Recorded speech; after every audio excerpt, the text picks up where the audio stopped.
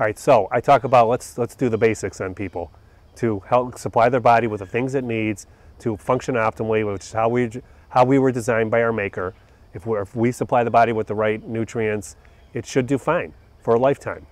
So I consider one of the basics iodine. Um, every cell in the body needs and, and requires iodine to function optimally. We can't function optimally in an iodine deficient environment.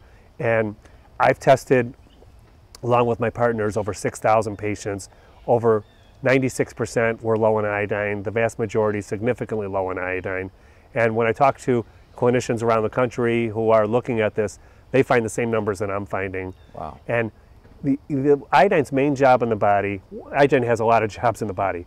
The immune system can't function without it. You can't fight infections without it. Um, but one of its main jobs is in the endocrine glands. And the endocrine glands include the thyroid, the breast, the ovaries, uterus, and the prostate. What are we having problems with out there?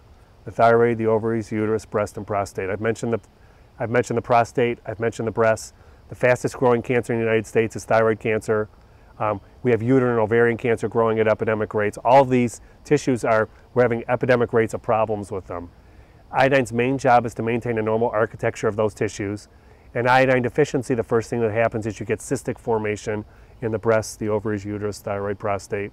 And let's throw in the pancreas in here as well, which is also increasing at epidemic rates, pancreatic cancer. And so cysts start to form when iodine deficiency is there. If it goes on longer, they become nodular and hard. If it goes on longer, they become hyperplasia, hyperplastic tissue, which is the precursor to cancer. And I say that's the iodine deficiency continuum. The good thing about iodine is iodine has apoptotic properties, meaning it can stop a cell, a cancer cell, from just continually dividing, dividing, dividing until it kills somebody. So iodine can stop this continuum wherever it catches it and hopefully reverse it, but at least put the brakes on the cyst, on what's happening. And I, you know, over 80% of women suffer from fibrocystic breast disease. That's a precursor to breast cancer, which, as I said, one in seven women have. I say it's an iodine deficiency problem, period. Mm. That's what it is.